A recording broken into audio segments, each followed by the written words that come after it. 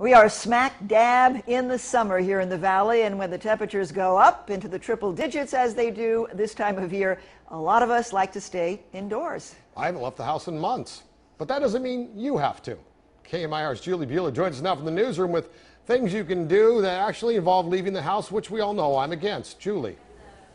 Yeah, we can always count on hot summers, Janet and Gino, and that means staying active can be a challenge. And while some brave heat on the hiking trails, others, they just find it difficult to escape, the heat and stay active, especially those with children on summer vacation. So for all those not inclined to jump on a treadmill or head to a gym, KMIR found some unique options to keep active without risking overexposure to the heat.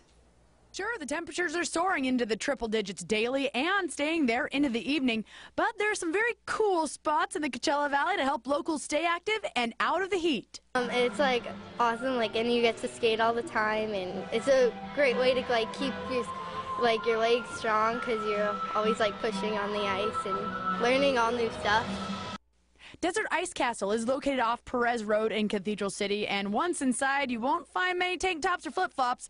The cooler temperatures are an immediate relief from the desert heat, and with a full-size skating rink, there's room during public skating sessions for first-time skaters and experienced athletes alike.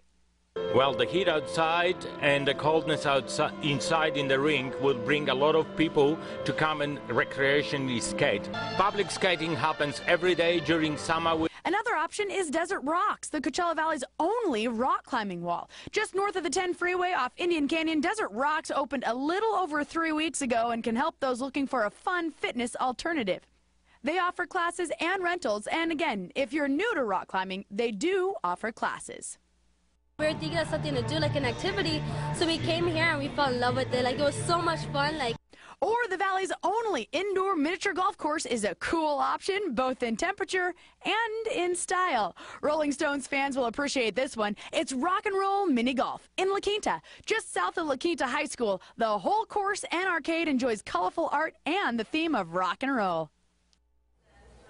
Yeah, we all know how tough the end of July and August can be for those staying in the desert full time, but hopefully some unique options can keep everyone active and cool, and in some cases, in more ways than one. Live in the newsroom, I'm Julie Bueller, KMIR News. All right, Julie. Well, of course, some of us are more cool than others.